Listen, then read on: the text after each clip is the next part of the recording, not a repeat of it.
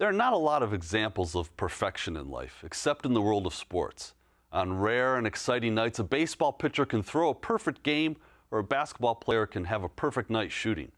But a perfect career? That's the rarest of accomplishments. Today's guest recounts the life of Rocky Marciano, who finished his heavyweight championship career with a perfect 49 0 record. He's Mike Stanton this week on Story in the Public Square.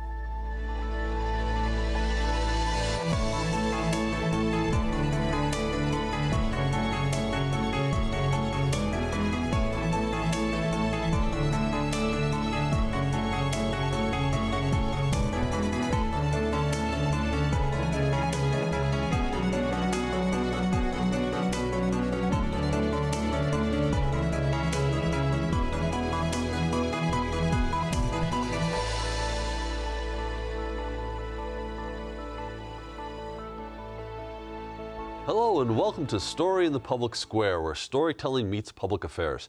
I'm Jim Ludes from the Pell Center at Salve Regina University. Alongside me is my friend and co-host G. Wayne Miller of the Providence Journal. Story in the Public Square is an effort to study, celebrate, and tell stories that matter. To do that, we sit down every week with the best storytellers around, filmmakers, authors, journalists, and more, to make sense of the big stories that shape public life in the United States today. To help us this week, we're joined by Mike Stanton, a veteran journalist, professor of journalism at the University of Connecticut, and author of Unbeaten, a new biography of legendary boxer Rocky Marciano. Mike, thank you so much for being with us. Thank you for having me, Jim. So we want to talk to you about Unbeaten, but we want to start a little bit earlier in your career too. One of your, uh, uh, your, your previously had published *The Prince of Providence*, the true story of Buddy Cianci, America's most notorious mayors, some wise guys in the feds, which is a sort of fascinating read about uh, uh, the history of, of, of uh, the leadership of the city of Providence. Um, how did you come to, to, to, to, to, to get to know Buddy Cianci and cover him? I ran the investigative reporting team at the Providence Journal, Rhode Island's leading newspaper, uh, for many years, and you can't cover corruption and crime in Rhode Island without coming across Buddy Cianci in my day. He was the longest serving mayor in Providence history, but more interestingly, he had a national reputation. Um, he was a guy who was a lovable rogue. He was a modern day Huey Long. Um, I called it, you know, like a soprano like character. Um, and he really embodied a lot of American politics, just as Rhode Island and Providence, um, in its you know foundation in the colonial era, embodies a lot of the American uh, tradition. So I thought, you know, my philosophy of writing books is, you know, all history is biography, and you find the right person and you can tell a story about a time and a place, and history and politics and immigration and uh, and a very colorful character. he, he was sort of, he was colorful and he was beloved in in, in, in large parts of Providence. Mm -hmm. um, is there is, does his uh, does the phenomena of Buddy Cianci in Providence give us any insight into the phenomena of Donald Trump nationally? Yes, I mean Buddy was was someone who could command the spotlight, defy the facts, and win people's adoration in spite of his flaws. I mean, here's a man who was mayor two separate occasions. The first time, three dozen of his uh, aides went to prison. He escaped prison because they wouldn't rat him out. And the second time, he ultimately went to prison on a racketeering case. And, we, and, when he went to prison, the judge who sentenced him compared him to Dr. Jekyll and Mr. Hyde. And Buddy, being Buddy, told his hairdresser, well, how come I didn't get two effing paychecks? and that certainly speaks to the colorful nature of his character. Prince of Providence was a best-selling book. The stories that you did for the Providence Journal were incredibly well read. Uh, doesn't that speak to more than simply your book and the audience for the Providence Journal in, in terms of America's fascination with crime itself? Yes, crime and corruption. Buddy is this lovable rogue. You know, you go back to you know Huey Long and James Michael Curley, and Buddy was was in that tradition. And here's a guy who gave a, a, speech at the Republican National Convention. He was friends with Gerald Ford. He was an ethnic urban Italian Republican mayor in the Northeast, and that gave him a lot of cachet in the 70s. And some people uh, thought that he could have had a bright future in the United States Senate, but he could never quite escape the sewers of Providence and the corruption and the ethnic machine politics of the city and, and the organized crime influence. And it ultimately dragged him down. And so it was a great Shakespearean tragedy. Don't Americans sort of have a love-hate relationship with criminals? I mean, we love to read about them. You were involved in Mark Smerling's Crime Town podcast. We Yes. Mark as a guest on the show. So we love to read those stories, but we hate what many of them have done because they do despicable things, many of them. And talk about that, the love-hate relationship that American audiences have with their criminals. Well, when Buddy went to prison, uh, people did a public opinion poll, and most people thought he was guilty, but most people thought he had done a good job as mayor. And that contradiction in our political system, I think, you know, goes back to the days of Roger Williams when he founded Providence on this idea of religious freedom and tolerance, but with it came a lot of roguish behavior and a lot of cutting corners. You know, Rhode Island was the center of the uh, colonial slave trade.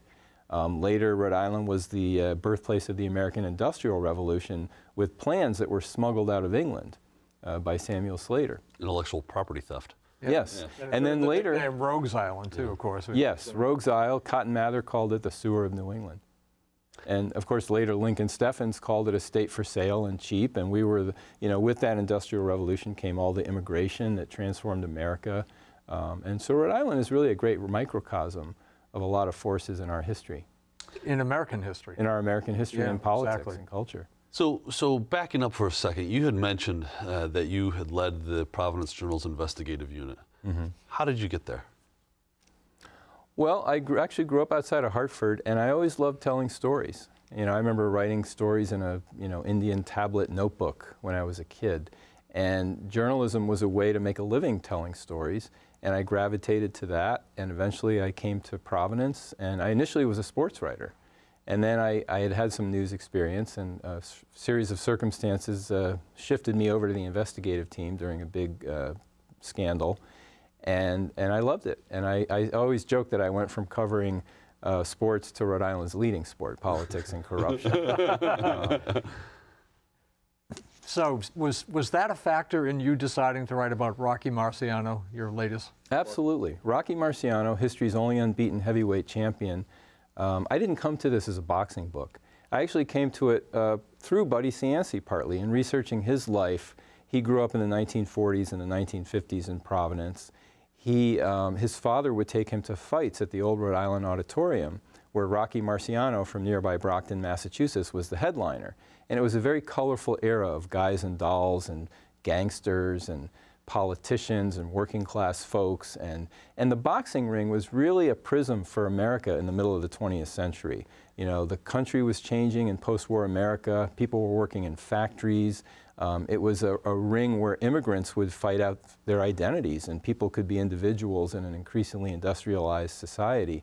And so it was just a very colorful era to me, you know, Rocky fighting in the smoke-filled Rhode Island auditorium and the bookies in the back and the wise guys and the, the whispers of fixed fights. And then later, you know, he goes on to fight in Madison Square Garden and Yankee Stadium in this Damon Runyon era uh, when boxing was at the center of American life and identity. And you knew what was going on even if you were only a casual fan because if you were the heavyweight champion of the world, everybody knew your name and you were friends with presidents and kings and movie stars. And Rocky was friends with Frank Sinatra, Marilyn Monroe, Jerry Lewis. Um, he actually, Jackie Gleason asked him to train him uh, for his movie role in The Hustler. But then he couldn't go through Rocky's workout regimen, so he, just, he went back to surprisingly, New I York. guess, and- if you ever saw Jackie Gleason. yeah. So, so you, you, you explained that um, becoming heavyweight champion of the world is not something you might have predicted about a young Rocky Marciano. Tell us a little bit about that. Rocky was five foot ten. He had short, stubby arms. He was awkward. He didn't have any grace. He started boxing late uh, for a boxer in his mid 20s. And within six years, you know, he fought an amateur fight in Brockton where he went to his uncle's house, ate a big dish of pasta, and then went to the fight out of shape. He was losing and embarrassed, so he kneed his opponent in the groin and lost by disqualification. Six years later, he's the heavyweight champion of the world. And it's a remarkable story. And to me, what really drew me about it was it's an immigrant story. Um, he was the son of an Italian uh, shoemaker who worked in the famous shoe factories of Brockton, Massachusetts. Um, he dropped out of high school. He didn't really have an alternative uh, other than boxing the, uh, to a life in the shoe factories, a life of drudgery that he dreaded. And so he pursued boxing as his way out, as a lot of immigrants do. You know, he grew up in the 1920s uh, when there was a lot of anti-immigration fervor in America, comparable to today. Uh, Sacco and Vanzetti were arrested on the Brockton streetcar a mile from Rocky's uh, grandfather's house. And he grew up in that era when Italians were really discriminated against. And then later, he becomes a heavyweight champion in post-war America. And he doesn't welcome this, but he's hailed as the Great White Hope because he's the first white boxing champion uh, since Joe Louis had taken the crown uh, 15 years earlier during the Great Depression. And now he's a symbol of Cold War America and might and right. You know, his manager says he punches like the atomic bomb. He goes to the White House and meets uh, President Eisenhower. He's with, uh, you know, Joe DiMaggio. And so it's really the story about um, immigrants, you know. And when you look at boxing, it's always the people on the lower socioeconomic, uh, you know, rungs of the ladder who are fighting. You know, first you have the Jewish immigrants in the New York tenements in the early 1900s, and then the Irish, and then the Italian, and later black and Latino fighters. And now you see a lot of fighters from Eastern Europe and other places. Um, so that was fascinating to me. So between that childhood as the son of Italian immigrants and his fame as a boxer, he was in the army.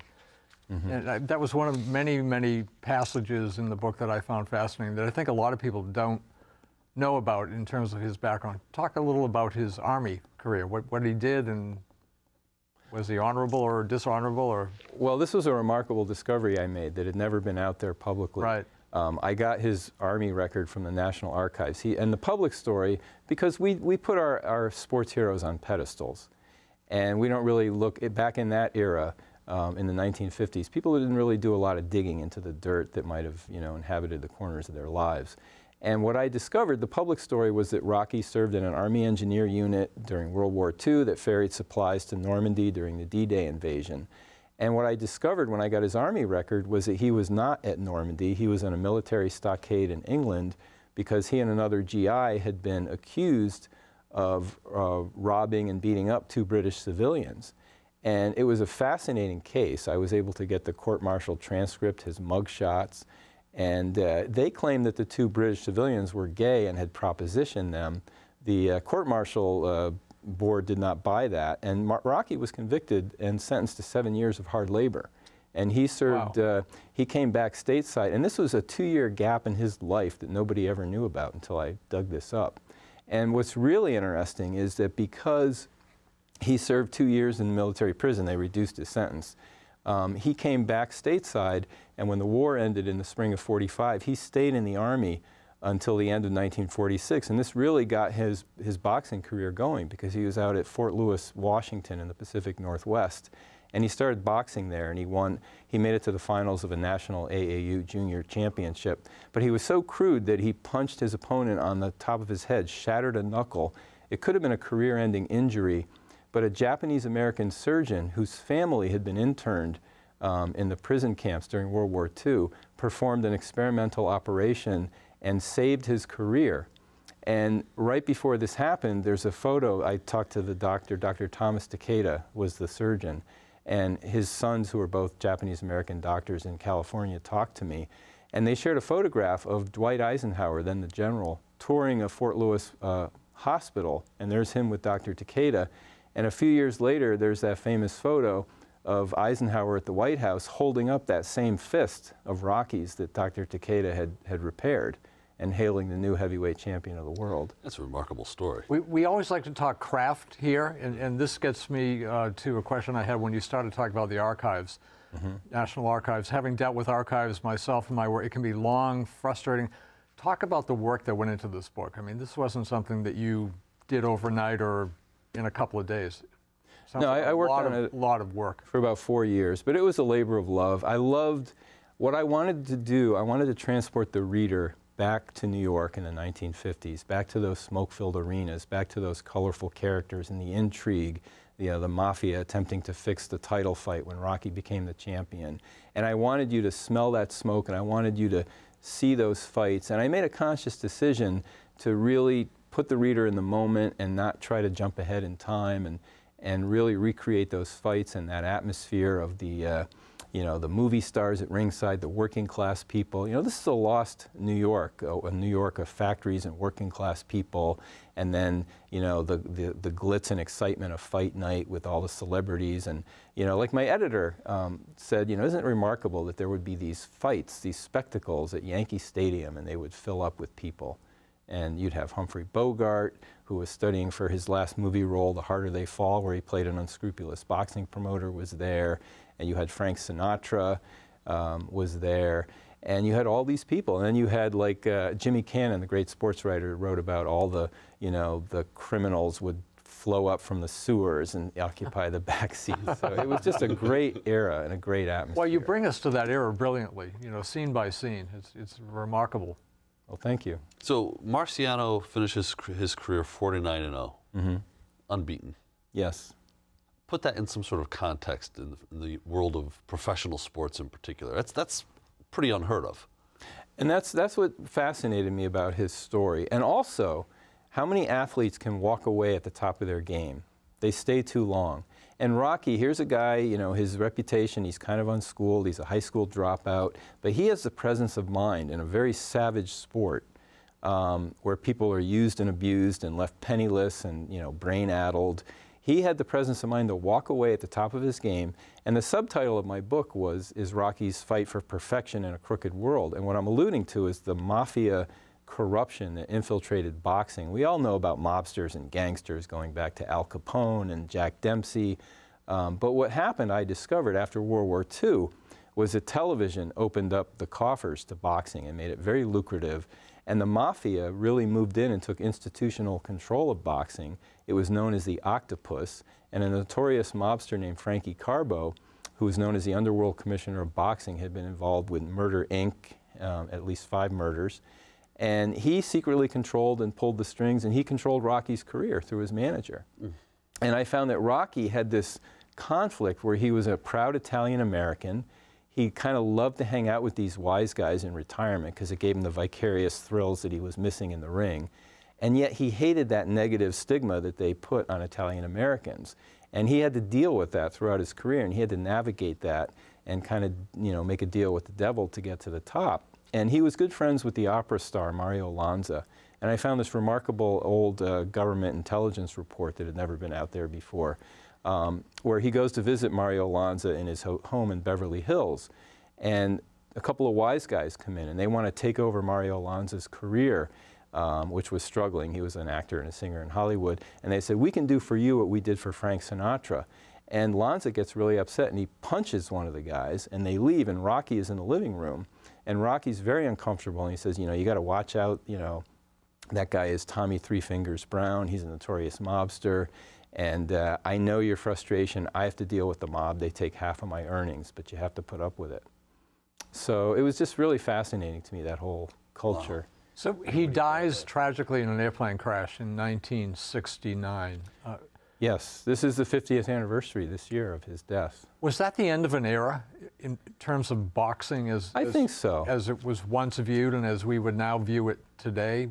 I think so. I mean, obviously Muhammad Ali was a very charismatic right. figure um, who kind of gave it the last real breath, um, and certainly other prominent boxers, but certainly as being center stage in American life. And I was really drawn to Rocky's story. We, we start with him as a boy in the 1920s, and we go through all this. And now he's kind of like the, the Don Draper character in Mad Men. As the 60s in America and the world is changing, he's kind of drifting aimlessly you know, he's wandering across America, he's doing deals with mobsters, he's involved with a loan shark, he's making public appearances, and he takes cash, and he's, he's walking around with bags of 50,000, you know, $20,000 in cash. He stashes it in odd places, and uh, he's womanizing, and he really loses himself, and he really, um, in this America that's changing. And towards the end of his life, I found this remarkable bond that he had with Muhammad Ali. And this was when Ali was suspended, um, you know, for refusing to be drafted and fight in Vietnam. And he needed to make money, so he gets involved with this promoter who stages this hokey computer fight between uh, a 46-year-old or 45-year-old Rocky Marciano and Muhammad Ali. So you have this white conformist from the 50s and this black militant from the 60s. And they meet in Miami and they go into a secret studio and they spar for 70 rounds before the cameras. and they strike a surprising bond. And Rocky, I talked to Ali's wife at the time and Rocky's brother, who were both there, and they told me about these remarkable scenes where um, Ali, Rocky encourages Ali for the struggles he's going through and says, look, you're just different. My, my ancestors faced discrimination as Italians, and I know what you're going through, and hang in there. And one day they're sitting by the side of the ring during a break, and they're sharing grapefruit slices. And they start talking about the race riots in America in Watts. And they say, what if you and me, a white man and a black man, got on a bus and we rode into Watts and we rode into Detroit and we preached racial harmony? And Ali got really excited. He goes, would you do it? Would you do it? And Rocky was like, yeah, I would do it. And tragically, two weeks later, Rocky climbs into a Oh, Cessna geez. plane in Chicago. Um, he's supposed to go home to Florida the next day to celebrate his birthday with his family, but he detours to Iowa to a mobster's steakhouse opening, and the plane gets caught in heavy weather and crashes in a cornfield in Iowa. And Jim Murray, the great Los Angeles Times sports columnist, writes a column the next day, and he says, "Start the count. He'll get up." A lot of us today are wishing there were an honest referee in a cornfield in Iowa. I want the movie. That's incredible. It is incredible. Uh, you know, we want to take a little time and talk to you about the hat you wear now at the University of Connecticut as a professor of journalism. Mm-hmm. Uh, we don't want this opportunity to pass without talking to you about the industry as it exists and what you see for the future for your students and really for the country.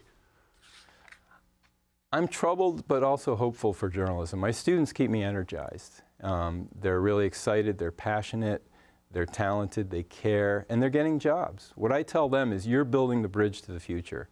People have always hungered for stories going back to the days of cave paintings. The technology always changes. I, there's one class where I teach the history of press in America, and I tell them to put away your devices, put away your computer, put away your phone, okay, put away your paper and your pencil. There's none of these devices. We still have this universal desire to tell stories. Uh, my fear is twofold. On the national front, as we're heading into a new 2020 election, I worry about the horse race mentality of the television networks' mm-hmm. coverage. And we're starting to see it again in spite of the best of intentions. And it's not just Fox News, which literally has the president's ear and spills a lot of bile into it, and that's really destructive. But even CNN and the so called liberal networks, they love the horse race. They love to have, like recently, there was a story about the environment and climate change. And there's this need to have this false equivalency of we're going to have a climate change denier on to balance it. That's like having someone on to say the earth is flat. So that troubles me. Um, Is the, is the horse race coverage, though, seems to be like it's driven really by it's really cheap to do. It's You cheap to put do. a panel of people together in a studio in D.C. or New York, and you've got 40 minutes of coverage that you can just flog to death.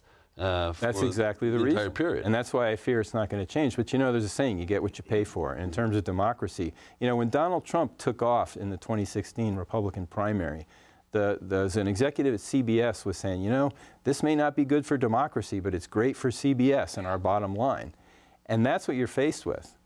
And on the local front, I worry that, you know, in spite of all the headwinds that journalists face today, I feel that there's good national journalism being done. There's the traditional outlets like the New York Times, the Washington Post, the Boston Globe are re-energized, they're making money. There's groups like ProPublica. But on a local level, there's less people watching the store. There's less people at town halls and police departments and state houses. And you know, there's not a viable business model to, to make that work. And that's troubling and that's concerning uh, to me. I, I share your hope in, in the younger generation of journalists. And So your students are in their late teens and early 20s into their 20s. What do they tell you has attracted them to journalism? Why do they want to go into this? I mean, you've mentioned some of the pitfalls or potential pitfalls of an industry that in some sectors is shrinking. What do they tell you? Well, you have to follow your passion. You know, you can't just become an engineer because that's where the money is, if that's not where your passion is. And they are drawn by a couple of things. They want to make a difference. They like the adrenaline rush of being a reporter. I mean, in a way, you're, you're a social crusader and you're a detective. So it's, it's a really fun job. And I tell them, you're not going to have to sit behind a desk. You're not going to have, mm. it's going to be different every day, and that's the adventure of it. Certainly in today's changing world technologically, I, we really push them to be multi-talented. We push them to, you know, be triple threats, you know, you know, be able to write, be able to broadcast, be able to do television and radio and blogging. Um, you know, podcasting, which I worked on the Crime Town podcast, is a whole new medium that's attracting a lot of people. So people, you know, I, I, look at my students and my own children, they're consuming news, they're consuming information, and there's a hunger for it.